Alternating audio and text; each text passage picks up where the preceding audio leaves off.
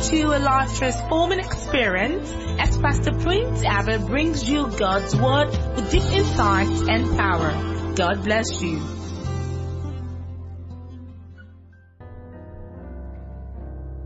This morning, my focus is going to be to help you move from a certain level of your life to another level. I want to see if I can help you move from survival to living.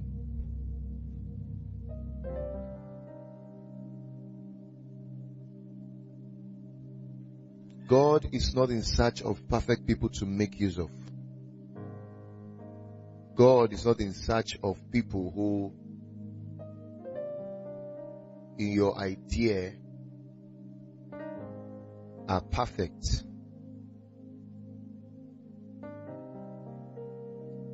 God is in search of available vessels.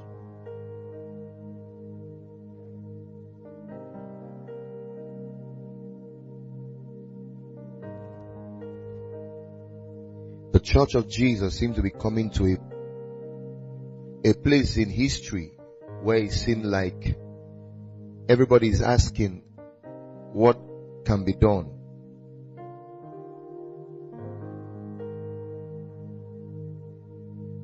There's no time I have sat down to study on the subject of the church more than I am doing now. I found out this is the whole thing I am doing recently or currently. I had a meeting with all the pastors in Afikpo recently. That was on Friday night pastors from Abakaliki Church, from Ikwo Church and Afikpo Church converged together. And I was trying to inspire them throughout the whole night. Of course, this season I've been touring around Nigeria. I traveled on Wednesday across two states or so. And then came back on Friday morning, on Friday evening rather. And from Friday evening took off to Afikpo. I've not been able to have an aggregate of up to six hours sleep. I don't think I have had that within this week.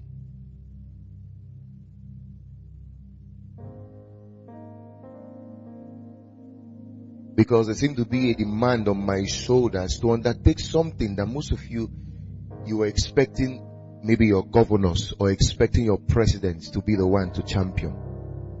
I said something to the church or to the pastors in Afikpo I said, the greatest thing that can happen to you as a Christian is to know the script for your time. Everything we are preaching in the church is not relevant.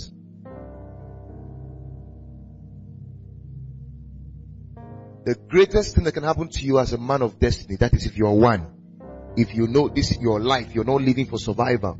You are living for an essence and a purpose. The greatest thing that can happen to you is to know the script for your time. Is to know what God has written specifically for your own time. Jesus did not fulfill his ministry and his assignment on earth until he found out the exact spot where the vision, the blueprint, the purpose, and the plan of God for his life was spelled out. The Bible said it clearly. He entered the synagogue, that's in Luke chapter 4, verse 17, and then the book was handed over to him. He picked it up, opened it, and he read from the exact place in the Bible where it is written, the Spirit of the Lord is upon me, for he has anointed me. Let's see this, verse 17.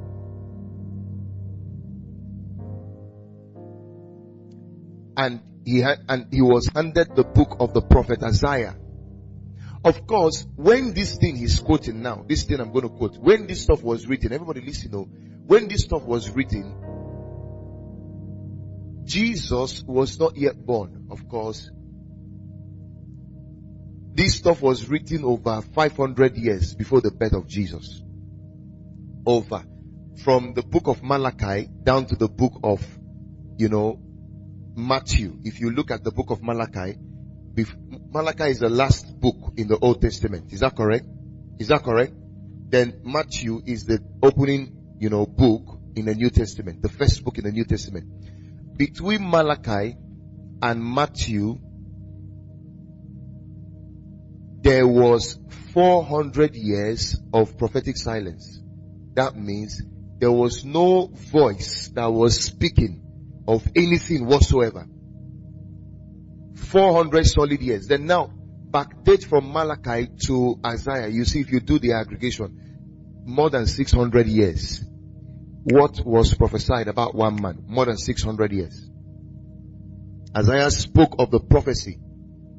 Then Jesus comes now after many years, hundreds of years have come and gone. And then he picks that same book and he opens it up and he says, the Spirit of the Lord is upon me. That's verse 17. He found the place where it is written. Verse 18. The Spirit of the Lord is upon me because He has anointed me to preach the gospel to the poor. He has sent me to heal the brokenhearted, to proclaim liberty to the captives and recovery of sight to the blind, to set at liberty those who are oppressed. Of course, this was what was written concerning Jesus specifically. It was not written to so many people. It was written to him alone. So he found that spot, he found that verse where the blueprint for his life was inscripted.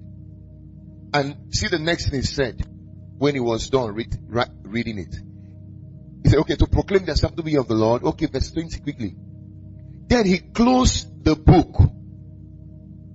He closed the book. And what did he do? And gave it back to the attendant and sat down.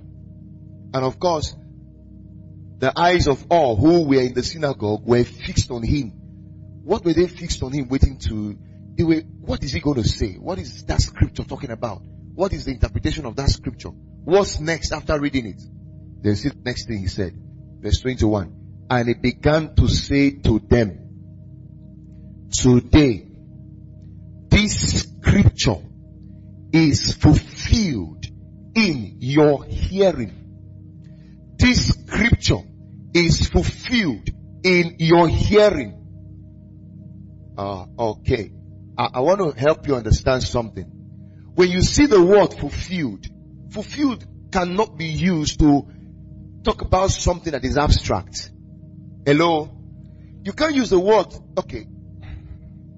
I can't say this water bottle or this bottle that is fulfilled. Hello? It does not know because it's abstract. It's inanimate. It can neither feel. It doesn't have emotions. Only human beings can say, I am fulfilled. Is that right? Even animals can't say I'm fulfilled. Only human beings can say, I am fulfilled. Why? Because they can feel, they can touch, they can sense, they can, um, they can reason. And when you are fulfilled, you know.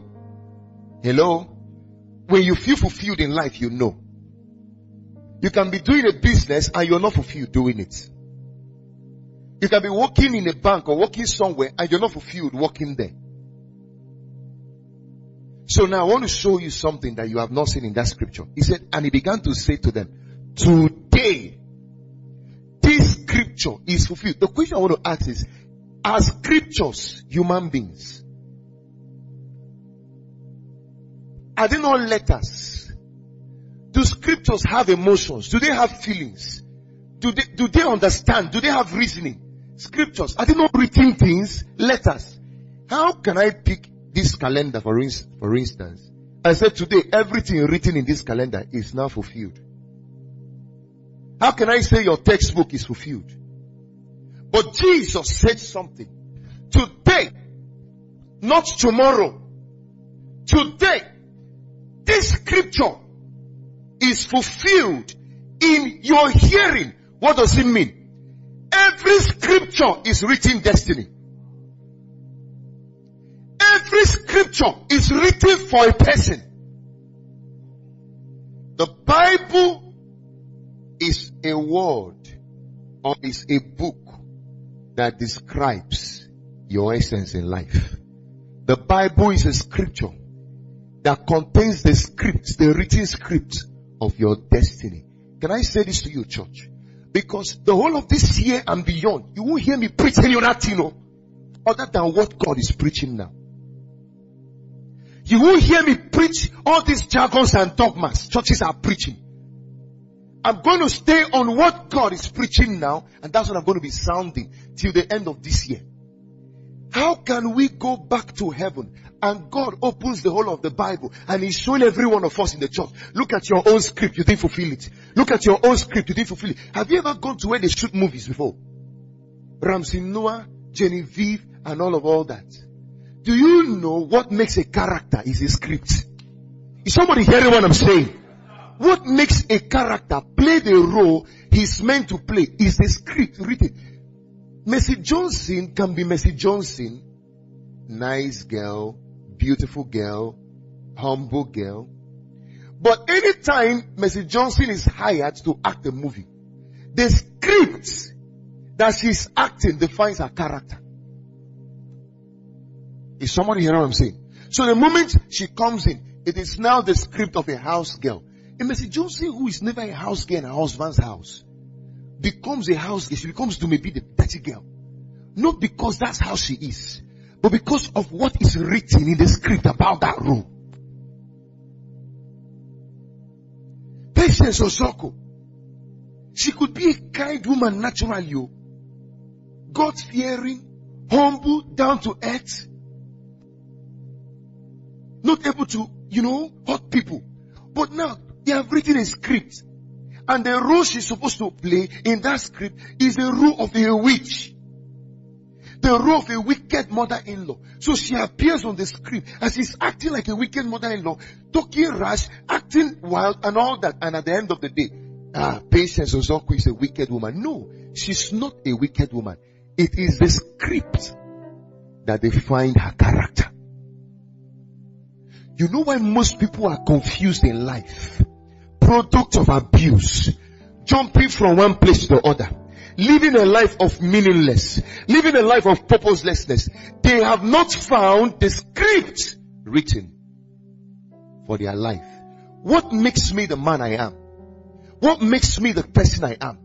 What makes me pursue what I pursue? What makes me drive in the direction I drive? What defines my life and defines my destiny, defines my future, defines my essence and my being in life is the understanding of the script written concerning me.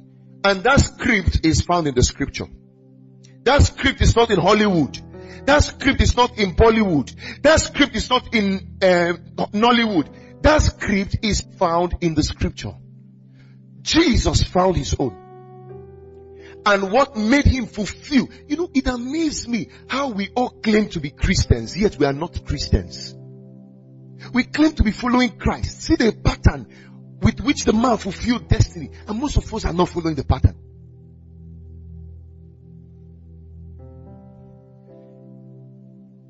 Okay. His time came and he left it was now turn or the turn for the apostles, the disciples of Jesus to fulfill their own. Do you know the scripture that was written concerning Jesus was not the same scripture written concerning Peter and the twelve? It was not the same.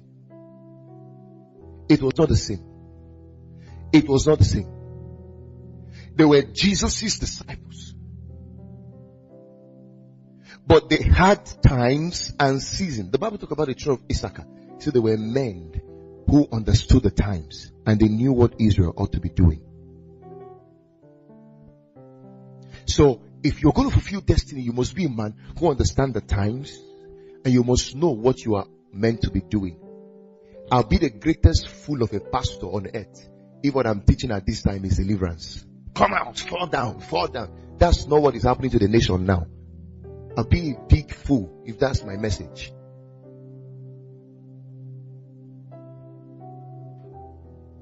I've been able to find the spot where what is written for the church now is.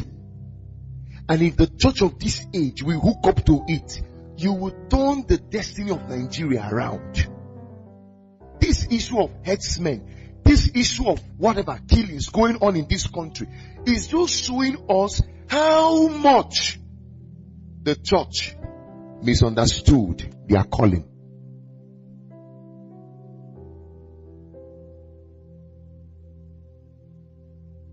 Sometimes when God put this kind of message on me, I say, God, we don't understand it. Most of them are young. We don't understand it. God say, it's their time. So talk to them about it.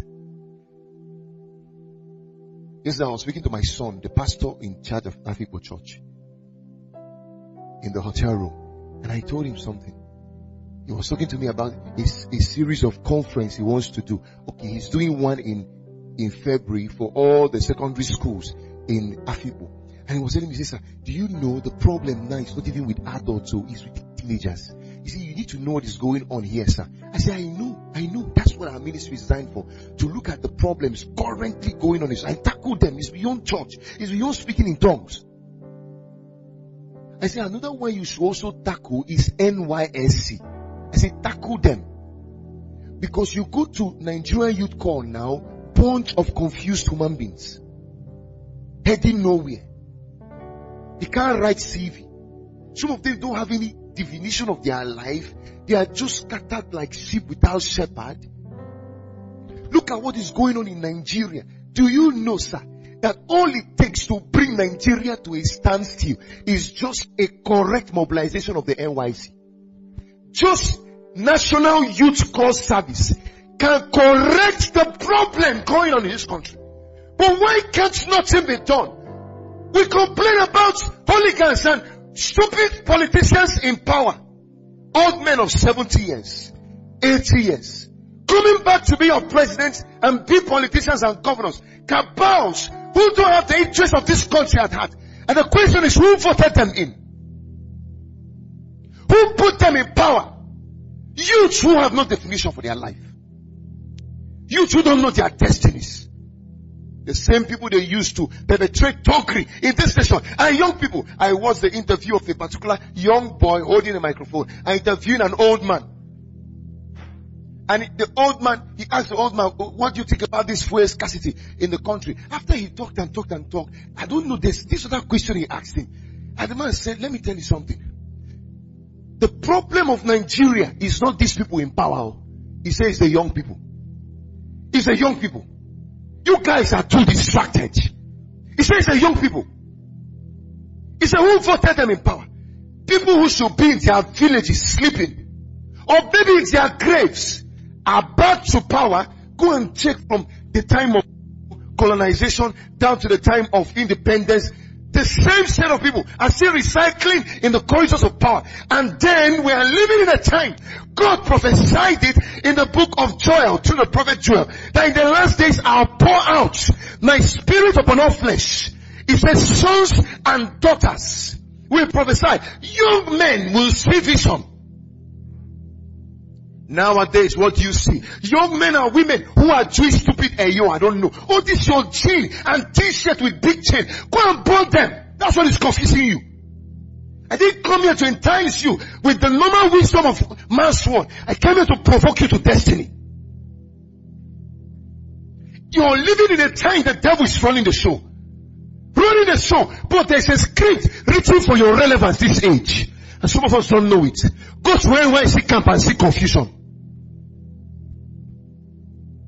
You don't need to vote or to be voted into presidency to change this country. All you need to know is know this country, know the history, know the destiny of Nigeria. NYSC can bring Aso Rock to a standstill. Do you know how many millions of youth couples we have in this country?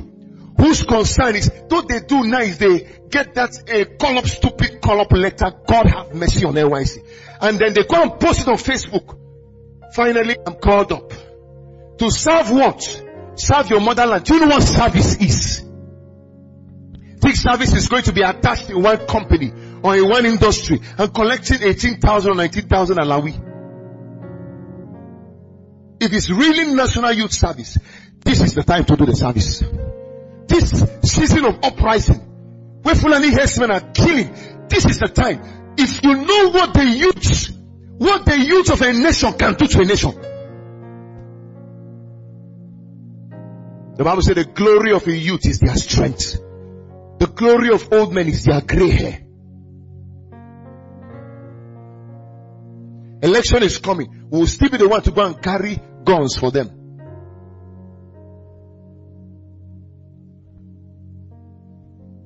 Who fills up the hotels? They build hotel for you all over the city. So you can go and waste your life. You cannot engage yourself in any meaningful thing. I usually talk to some lady, I tell them, woe betide you, don't understand anything. When politicians win election, they carry you in fleet of cars from one hotel to the other. You don't have a, you don't know you are an Esther.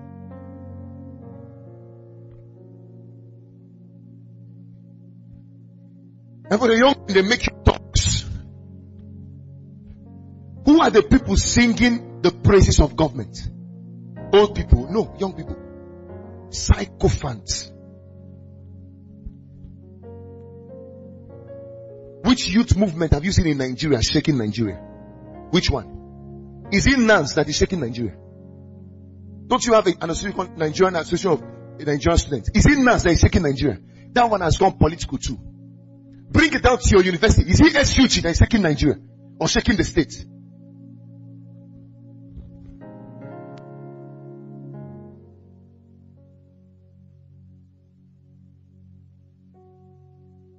They put too many distractions around us. Put too many jamborees around us. They know what excites you or what excites you. They give you, uh, you know, it won't take anything for your state government to bring Phyno and Flavour here to waste your time. It won't take them anything. They won't bring you intellectual minds to educate you and spoil you up to destiny. They won't do it. It's Phyno, Star Trek, it's okay, Bakassi. I go die. That's what they will bring for you. Glow laughter. So they can waste your time and waste your life. And uh, energy, energetic young men who are supposed to be forming synergy at this time. See how numerous we are, but see how scattered we are.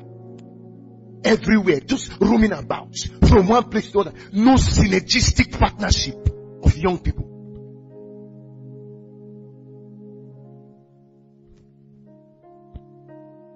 They want this government to be afraid. Let young people unite. It starts from the church. That's why when I see how young people in church today behave, you don't take service serious. You don't take commitment serious. You don't take faithfulness serious. You don't take involvement serious. You are here today, you are there tomorrow. You are involved today, tomorrow you are detached. You are consistent today, tomorrow you are inconsistent. It doesn't matter whatever theory you have postulated concerning the change of Nigeria, it won't come to pass. Change does not happen in theory, it happens in practice. Change is not a theoretical thing. Can't transform it. I don't care how much you write on Facebook or on WhatsApp. I don't care how much you write on social media. You will not change nothing by being so theoretical. It will take pragmatic practicalization of theories to bring this nation to change. And some of you, if I ask now, what is your vision for this country? You know nothing. There's some comedies I watch, I cry. You ask somebody, what's the national anthem of Nigeria? She cannot recite.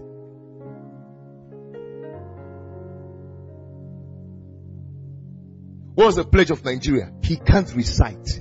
Some of you, you see it on your WhatsApps, comedies, and you just laugh about it. It's a pitiable situation. Not something to laugh about.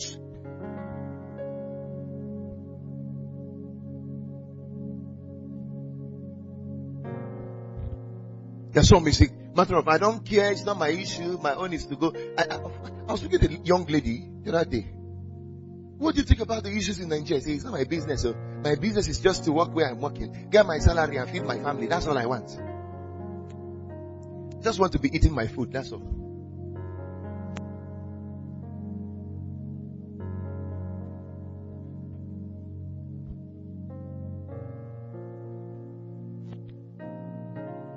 We are talking about kingdom service. I need to understand, I need to get you to understand what the kingdom truly is.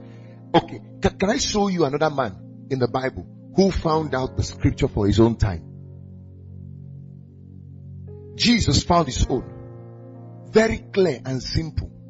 He said, this is why I came. So the Spirit of the Lord is upon me because he has anointed me.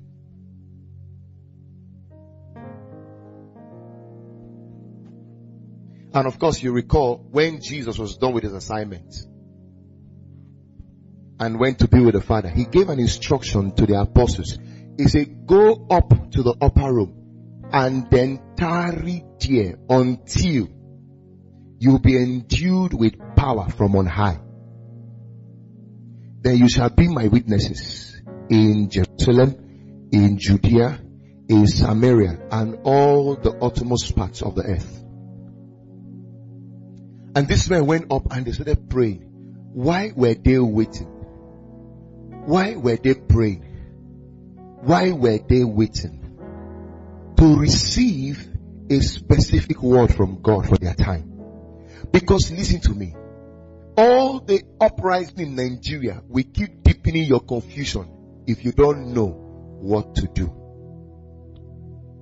Some of you who don't know what to do, where do we start from, how do we handle this, what do we do? None of you, most of you who don't know. Because you don't want to pay the price to separate yourself from all the entanglement of this generation and then pitch a tent where God can infiltrate your spirit with kingdom ideas that can cause you to be an agent of revolution in this age. You don't want that price. It's a costly price to pay.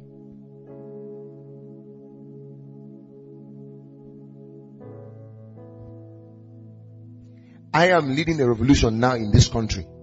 Whether you know it or not, a revolution that will bring Nigeria to a standstill.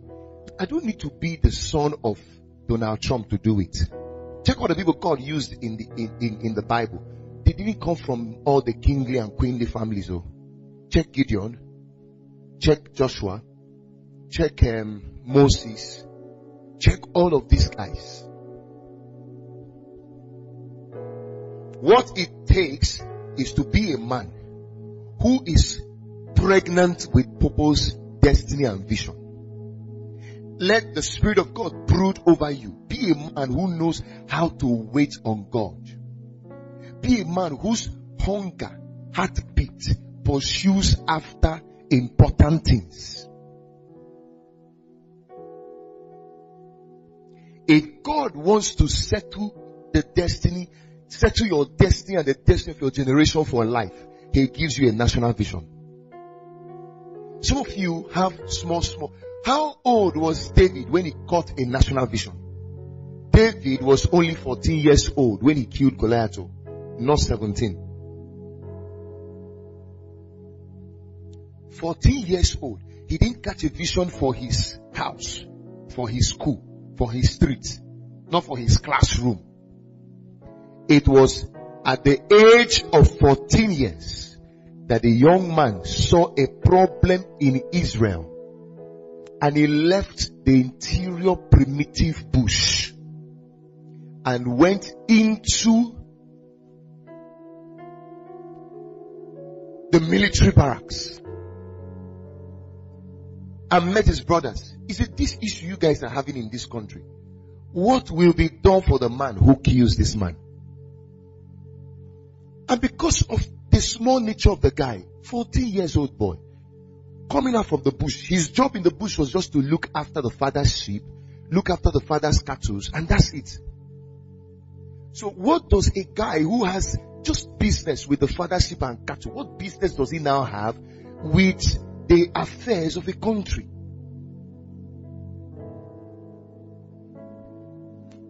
I should notice or I should know very well that when David was in the bush, he was studying the country. He was studying the affairs of the nation. He was mapping out strategies. How do I conquer? Of course, so was the military chief or the king or the president of Israel at the time. Couldn't do anything about the country's issue. All the big, big, big, big army, the lieutenants and the colonels and the major generals and all that in the army of Saul could not do anything about the issue of Israel until one small boy appeared. When this boy appeared and spoke to his brothers in the army, what will be done? You know the first thing the brother said to him? He said, my friend, get back to the bush. Who did you leave Papa's cattle for there? Who did you leave those helpless sheep for? This is not a matter for small boys. It's a matter for people who have come of age. God doesn't consider age to use you. Is somebody hear what I'm saying? No, it does not. It does not. I don't care whether you're in pre-degree, whether you are in degree, or whether you are post, whether you are in post-degree. I don't care. God does not consider your age to use you. He doesn't consider where you are now to use you. Are you willing to make yourself available to Him and let Him get you pregnant with the national vision? And do you know what David said to them? Of course, the brother told him, I know your pride. I know your arrogance. I know your haughtiness. You have come out to show yourself in the war so that you'll be seen, right? Get back to the bush. And David looked at the brother and said, is there not a curse in Israel?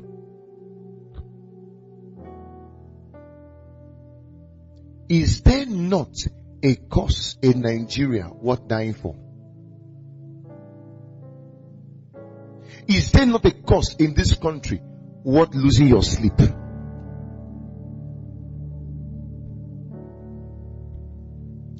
Some people who don't know anything about what we are doing here, who don't have the kind of education some of you have, who don't have the kind of access some of you have to information, have decided that until they buy this country, they won't rest. And all we do here is to post all kinds of jargons on social media and then do nothing about it. And people are all over this country advocating for colonies. Do you know what colony is? Do you know what colony is? Before the colonization of Nigeria, Nigeria was a colony of the British. You had the Southern Protectorate, you had the Northern Protectorate. In 1914, they were amalgamated and then became, go and read your history. Go and read your government if you don't know this stuff. And now, after post-colonial era, we're having another kind of colonial colonization going on now. And people are asking for the passing of the bill of cattle col- I don't know for crying out loud when we moved from colonizing human beings now to colonizing cattle. Yeah, you know there's some of you it's not your business. Wait until the bomb drops on your street. You understand it's your business. Wait until they invade, until they invade your territory. You will know this thing happening in this country is your business. It's not my business. It's not my business. It's not me who they are killing in Taraba. It's not me who they are killing, they killed in Benue State. It's not me who they killed. Don't worry. Don't worry. The penalty for sitting still.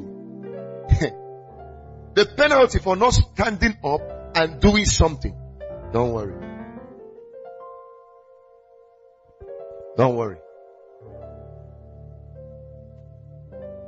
I'm talking to you the way I'm talking to you because you may think that it's your senators and politicians who will do something about this. Sorry, it's not them. Most of them have settled their destinies outside here. They have settled their, some of them have their children abroad. Some of them have built houses abroad. They have sent their family abroad. Now here you day, or Ghana here you day. You are here. I know some of you don't have passports. You don't have visa to even Cameroon here. You don't have visa to Benin Republic here. Now here you day. Some people just enter your country and spoil the country for you and then they move. Say Boo Boo's son had an accident, power bike accident. And then I don't know what they say happened to his brain. They tried it in Abuja. He couldn't walk. They flew him to London. Is that right?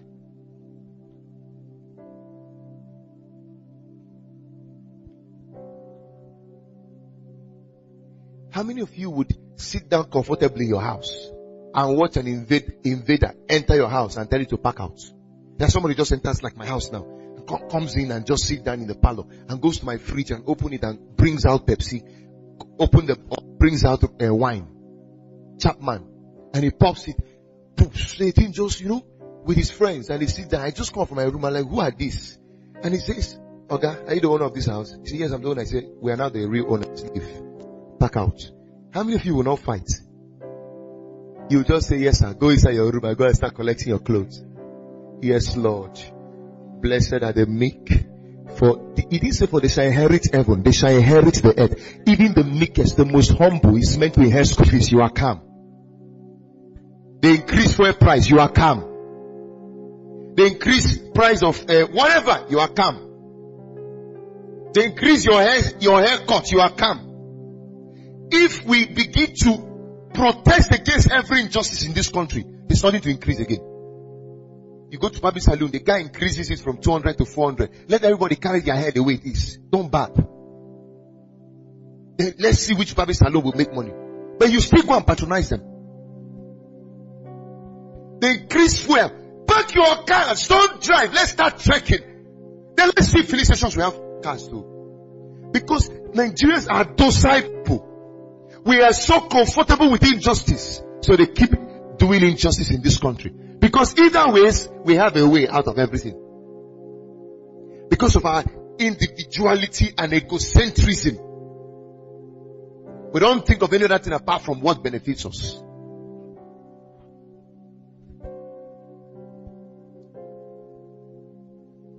A man saw where a citizen of America was being beaten, brutalized by a policeman, beaten anyhow, beaten anyhow. You know what he did? He brought out his camera, took the picture, went to the court and registered the case and sued the police. I think it's, it's uh, Los Angeles Police Department. Sued the Los Angeles Police Department for brutalizing a citizen of America. They are arrayed police to court. The man came. Then the guy who is victim of the brutalization was also in court. But he was not the one standing in the, what do you call it? Is it cabin? Witness box or whatever you call it. He was not the one standing there. It was the guy who took the picture who was standing there. Speaking for his fellow countryman as though it was him who was beaten. Because that thing you tolerated happened to your brother is coming to happen to you. That thing you didn't speak against that happened to your citizen, your fellow countryman is coming towards you. One day you will see it. The reason I fight for justice is not because what happened to that one happened to me. It's because if I don't address that one, it will happen to me soon. The guy was in the witness box speaking against that stuff, sued the police and demanded for compensation in, in dollars. And the judge of the court had no option. Having heard all the, uh, whatever, you know, stories and all that, found the police guilty and then he demanded that the police pay for damages incurred. Right there and there, they had to pay and beg that guy, that citizen, for just one small slap and beating they gave him. They had to pay. They had to pay. They had to pay. When they paid the man, the man went to the guy who took, he didn't even know somebody took the pictures or whatever. Him was like, wow, thank you. What do I give you? Let's share the money. Say, no, I am not taking a dime out of that money. Why are you compensating me for being patriotic? Why are you compensating me for doing what every citizen in this country should do for themselves? The man left the court disappeared. That's his, that's what he wants. Here, a policeman catch you and beat you. People will be looking from their window. Hey, you don't know that police brutalization is a crime. In America, they arrest you as a criminal. You cannot be detained beyond 24 hours or if your case is too grievous or whatever heinous. 24 hours you are charged to courts. Nobody detains you for the 8 hours. Here the thing for the eight hours, you can't do nothing. And we have a country of young people. We have a country of youths. Because we are afraid of losing our lives. Paul said, my life is poured out as a libation. You are afraid of talking. And they will beat your brother, your countryman. Put people in cell 72 hours, some one week. Injustice in this nation. Corruption at the highest level. Yet we are so docile, we don't know what to do. Tomorrow will be your own turn.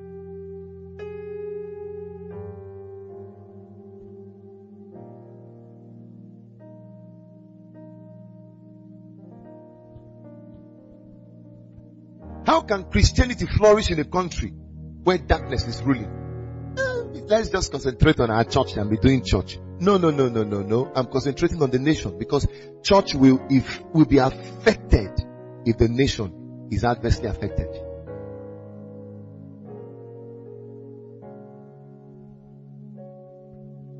There was one day those guys who carry walked into these premises. That day I was so angry.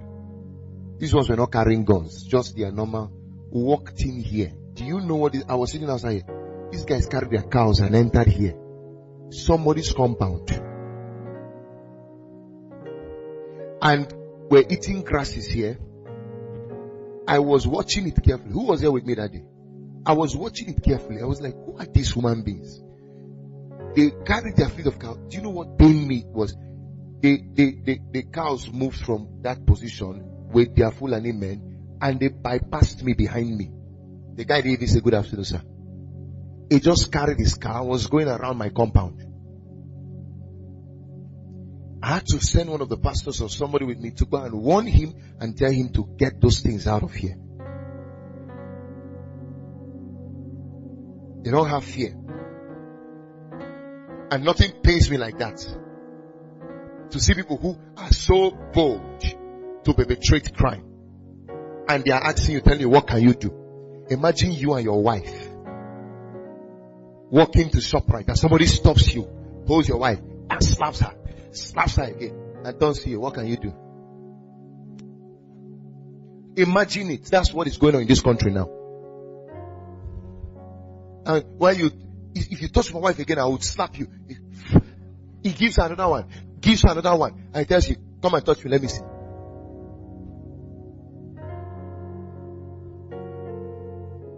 We are preaching messages of egocentrism. That is why our country has not changed. God is going to give you a car. Amen. That's what is killing us here. Do you want a wife or you take it? How many husbands you want? You can even receive seven right now by the Holy Ghost. That's what is killing us. But it's affecting everyone now both the Grace Church, the Kingdom Based Church, the Deliverance Church, Prayer House Church, everybody is crying the same cry. Nobody is crying deliverance cry. Everybody is crying the cry according to Buhari. Everybody is crying the cry according to the state of Hesman. I don't care what your church is called, whether it's digital or analog, whether it's soji or unsojid. I don't care what it is. Now you're feeling it. Everybody now you meet is talking one language. But the grace preachers, the kingdom preachers, the deliverance preachers, the prayer warriors, or what do you call them? Everybody, the same thing. He's now telling on us. I think the rain that falls, falls on everyone. Does rain select who to fall on? I know this one is the Grace Church. So let's not fall on Grace Church today. Fall on Kingdom Church. This one is a Deliverance Ministry. Fall on them. This one is Catholic. This one is rich. Don't fall on them. Fall on the poor the rain that falls from heaven falls on all. Whether it be good or bad or rich or poor, small, old, it falls on all.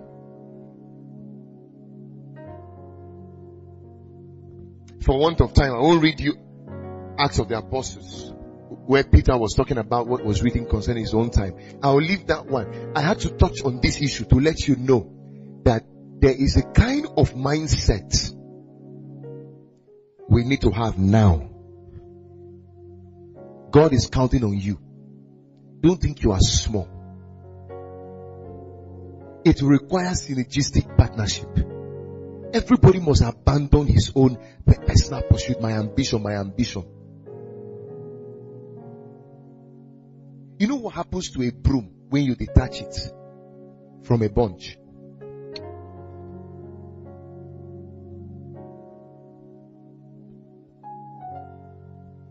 So if you like, go and become a professor. Oh.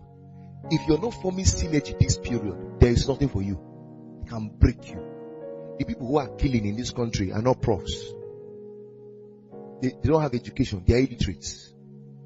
They sent me a video of a few of them where they were dancing with their AK-47 rifles. Just seven of them.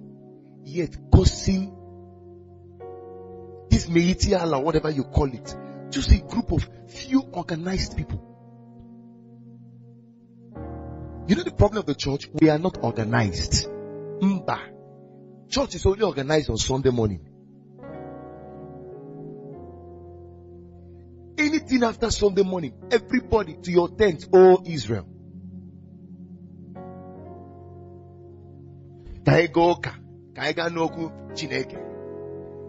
You finish two hours mass or three you are back home. Then the whole week, nothing is going on.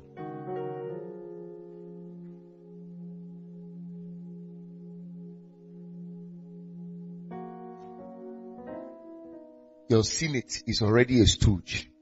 That's one stooge there. That's the country we're living in now. There should be clear division of power between executive, legislature, and judiciary. Now both legislature and judiciary are in the executive. Can I talk in this country? God punish your senators and your governors who are killing this nation. I don't care about any of them. I don't care about them. Ben Bruce was on TV in the Senate House talking about the injustice. He said, when did legislature, the red chambers become executive?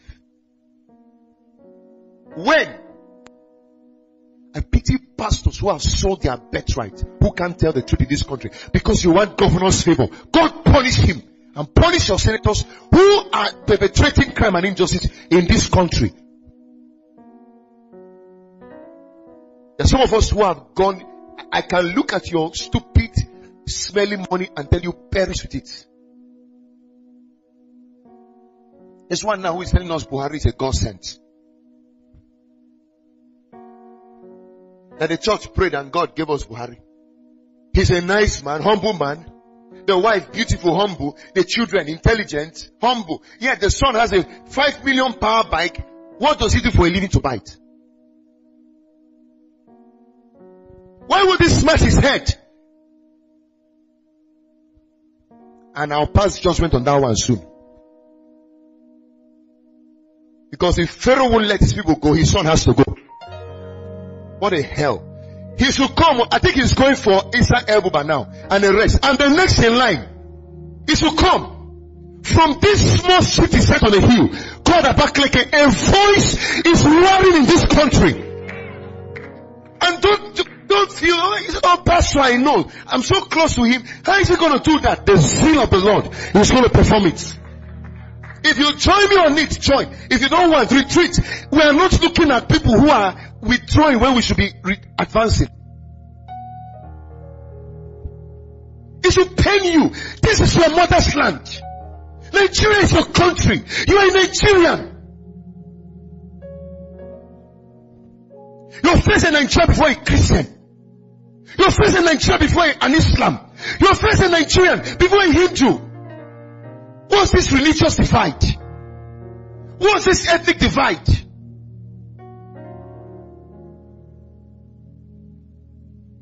Fulani headsmen are killing people everywhere. 73 buried in one day in Benue State.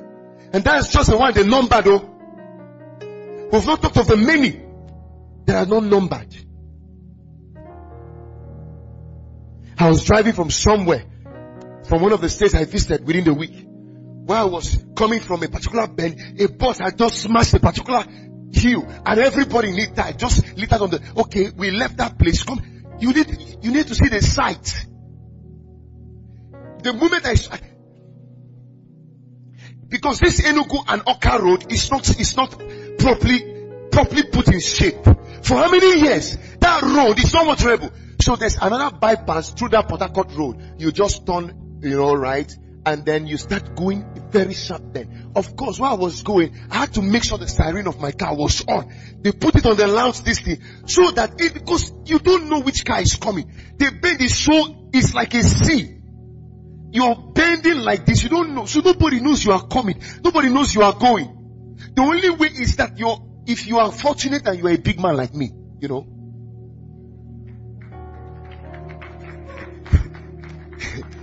and you have a car that makes noise. That's the only way out. This one was driving, I don't know how, and I suppose that accident, it happened late in the night or at the earliest part of the morning. A Hiace bus, Tony, I don't know what he drove, but smashed. If you see the bus, then I slowed down at that point and I looked. Everyone in the bus, some beheaded some arms out. They were all lying down on the road, dead. I, I will show you why I'm saying this now. Lying down, then a few road safety officials who were there looking and bringing out some. There was nobody. You know, usually when accidents happen in a major place, people come out. This one, there was nobody there. That means that road is a deserted place. There are no residents. People don't live there.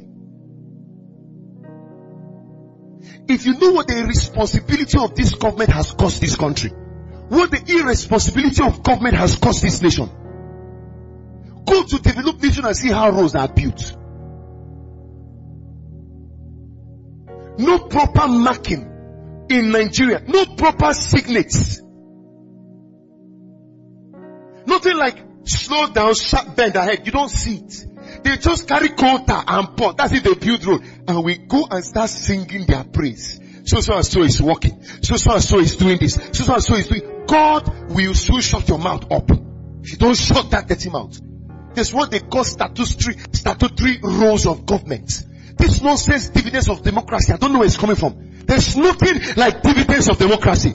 Democracy is not the dividends.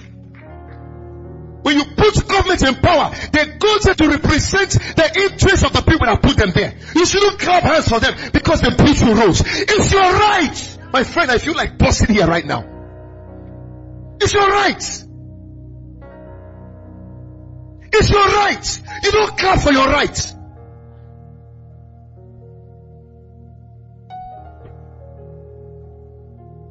Clap for it.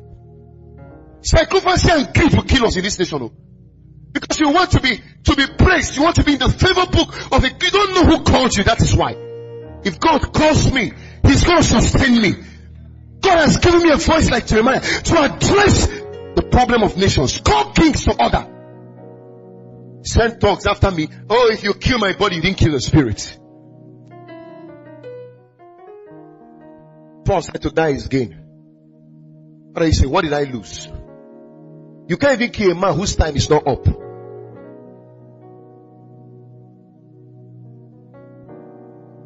We left from that area, got down to the military checkpoint. Queue everywhere. Tanker had fallen down, exploded, and the tanker fell down on another bus.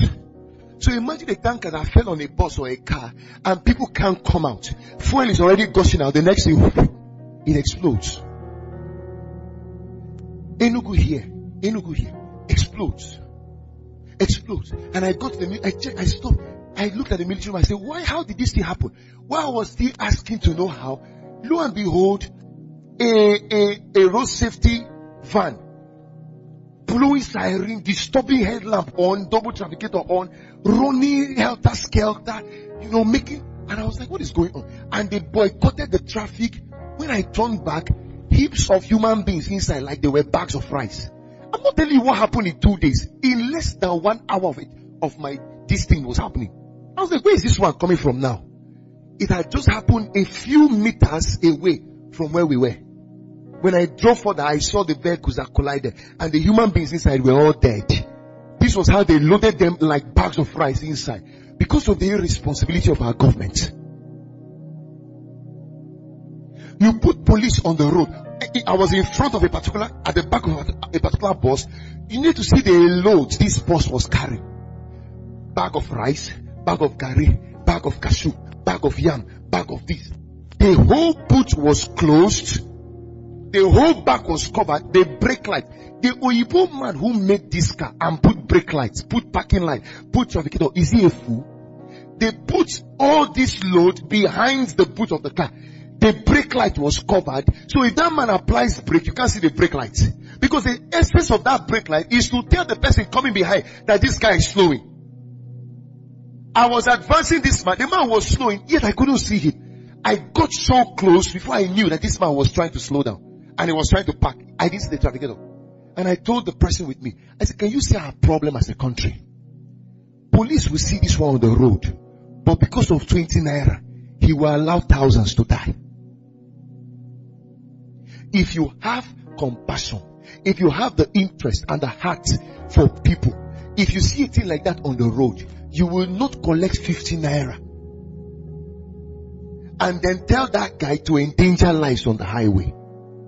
You will park that vehicle. You will make sure everything in that vehicle is brought down. You will discharge the passengers in that vehicle. I did it one time. Of course, our citizens are also irresponsible. I saw something like that. This one was a tipper with a bus competing on the road. I was like, look at human beings in this bus. Look at this reckless driver. You know, I overtook the vehicles. and went so far and backed at the police checkpoint and came down. I said, stop those two cars. Stop them. Stop them, sir. Stop them, sir. Stop them, sir. So what happened? I said, they want to die. They want to kill themselves. Stop them. Stop them. And the policemen waved them down, cocked their gun and packed them. When they packed, I now lead my complaint. Do you know the driver was spanking? All the passengers in the bus joined the driver as they're calling me wicked man. Osinobu pastor. If you oh, oh, oh you can shoot and he surely make a you know, driver become with him. Jesus Christ. For people I'm fighting for. Only two women came to me and said, Sir, thank you. We have been warning this man. All the passengers in the bus have been saying, driver, ride on. Igbo ebe anọ. Gaba n'iru. Ọkpụ ụgbọ Jesus kụrụ anya naba. They have been riding on. Only two women came to me and said, Sir, please, thank you. We have been warning him. It's like the man is drunk. And you know when the police checked, he was actually drunk. Yet there were people in the bus telling him, Ebano, driver and car too much. Most accidents that happen sometimes, don't blame drivers. You don't know the passenger who was inside. Say, driver, I have an appointment. Move this car. Overtake that car. Overtake that trailer. Driver, I'm impressed. Keep moving. And when the thing happened, everybody died. Then you pack. Oh, Jesus. We also contribute to it. Do we want to hear the truth in this country? That's why God raised this church.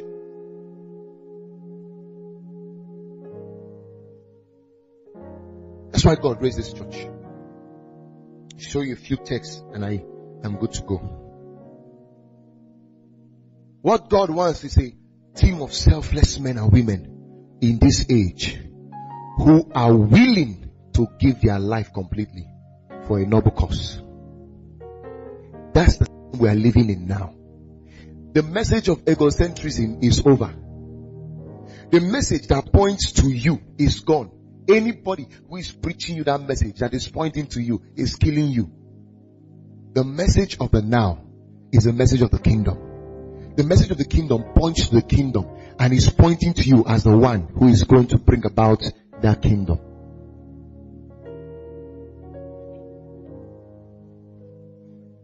Have you not enjoyed the goodies of heaven enough? I don't have a car. Who told you you don't have? A man who pursues the kingdom lacks no car. I don't have a house. Who told you? They are all in the kingdom. Have you not enjoyed the goodies of the kingdom enough? This air you breathe. This life you live. Health you have. You are not in the hospital. I did not dividends of the kingdom. Actually, in our kingdom, nothing is a right. They are all privileges. In this kingdom, where we belong, Nothing is a right. Your life is not your right. It's a privilege. I don't know how you woke yourself this morning. I don't know how. I don't care how many bodyguards you have. They can't wake you up from sleep. My bodyguard woke me up. Lies. He that keepeth Israel woke you up. I don't care. I've seen people surrounded by different battalions, different ammunitions, gates um, upon gates before you get to their, their own apartment. Yet they slept and didn't wake up. Have you not enjoyed the benefits of the kingdom so much? What is this selfishness parading the space?